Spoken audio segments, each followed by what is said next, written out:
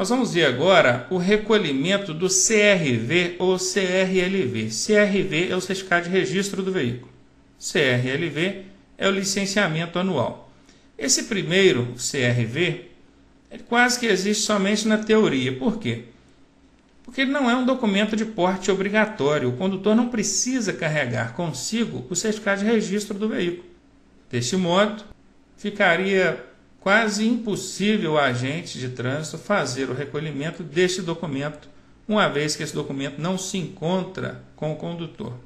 Já o CRLV, ou licenciamento anual, este sim é de porte obrigatório e facilmente o agente poderá recolhê-lo. Apesar da gente entender que o recolhimento do CRV, do registro, é mais difícil de acontecer, o Código de Trânsito prevê essa punição e também prevê de forma separada do CRLV.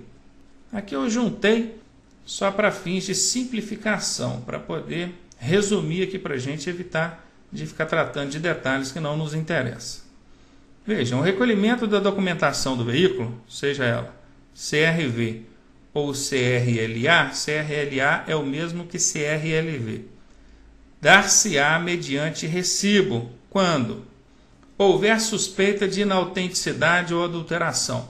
Vocês viram agora há pouco que, no caso da habilitação, se houver suspeita de inautenticidade, ela será recolhida. O documento do veículo também. E a adulteração ou adulteração. O prazo de licenciamento estiver vencido. Qual o prazo do licenciamento do veículo? É um ano. É um licenciamento anual.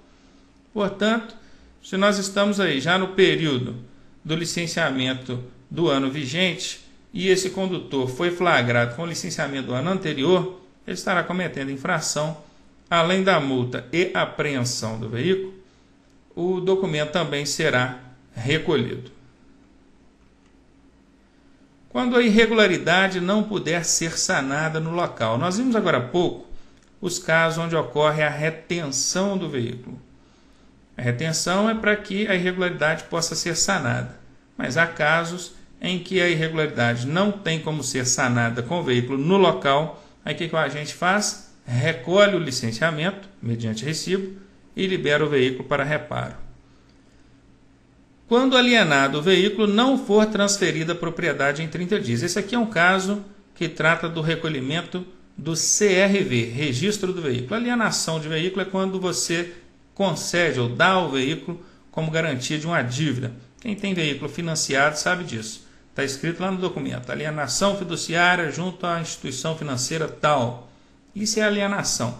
Se o veículo está alienado ou foi alienado, foi dado como garantia de uma dívida e não houve a transferência da propriedade para caracterizar, fazer constar essa alienação no documento dentro do prazo de 30 dias, ele também poderá ser ou ter o certificado de registro recolhido e outros casos previstos pelo Código de Trânsito Brasileiro.